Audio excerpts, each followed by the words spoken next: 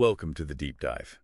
Today we're carrying into the sources covering uh, what is really the operational backbone of the conflict in Ukraine, the M142 HIMARS and its tracked cousin, the M270. Right. And, you know, while drones get all the headlines, our research makes a really strong case that HIMARS is, well, arguably the single most strategically impactful system that was sent to Kyiv. Oh, it's not just impactful. I'd say it fundamentally reshaped the geography of the war. How so?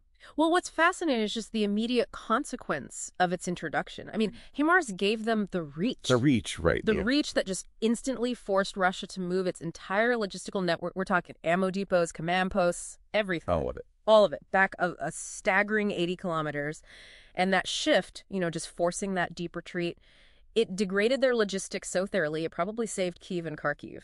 That's the definition of strategic disruption. Yeah. And the tech behind it has some, well, some really clever aspects. I keep coming back to the M30A1, the alternative warhead. Yeah. What makes that round so ingenious? It's the uh, it's the clean kill it delivers. Yeah. That warhead is designed to just scatter 182,000 preformed tungsten fragments. So it's like a giant shotgun blast. A terrifyingly effective giant shotgun blast. Yeah. It's perfect for, say, massed infantry or any soft-skinned vehicles out in the open. And the critical difference here compared to older cluster munitions is the safety factor, isn't it? Exactly. That's the genius of it. You get this massive destructive area, but it's all kinetic energy. It avoids a conventional explosive payload. Which means no duds. No unexploded ordnance, no UXO. That means way less long-term risk for civilians, and you get a much cleaner battlefield. It's a huge deal. So high effectiveness, none of the long-term liability.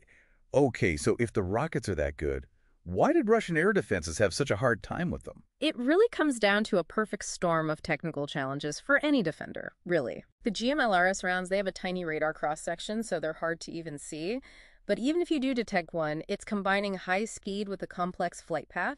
It can pull high G maneuvers at the end. Too fast and too agile for their interceptors. Yeah, systems like the S-300, they just can't keep up. It's too much for their guidance systems to handle reliably. Which creates this devastating strategic asymmetry. Absolutely. Russia is burning through their most expensive interceptors, S-300s, S-400s, Their best stuff. and often failing trying to hit these relatively cheapo, mass-produced GMLRS rockets. It's a losing game, and it drains their strategic inventory fast. But, as our sources point out, this isn't some magic bullet.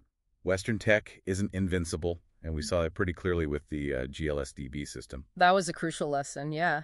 The ground-launched, small-diameter bomb It really underperformed. Why?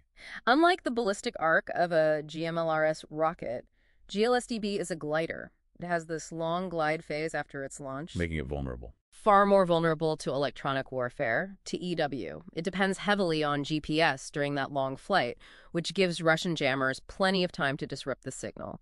And then there's the other big disappointment. The massive what if around ATACMS. Yes, the failure to deliver the right ATACMS variant. That was a genuinely missed strategic inflection point. What do you mean by the right one?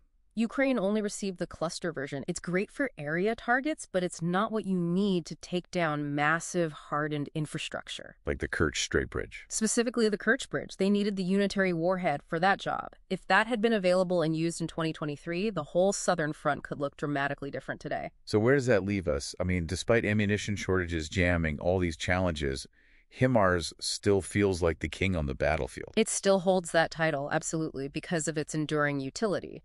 But the vulnerability of systems like GLSDB is a stark warning for the future. And that really raises an important question for you, the listener, to think about.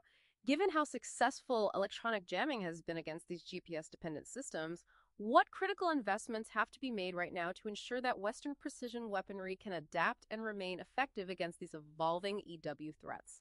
That is the challenge that's going to define modern warfare.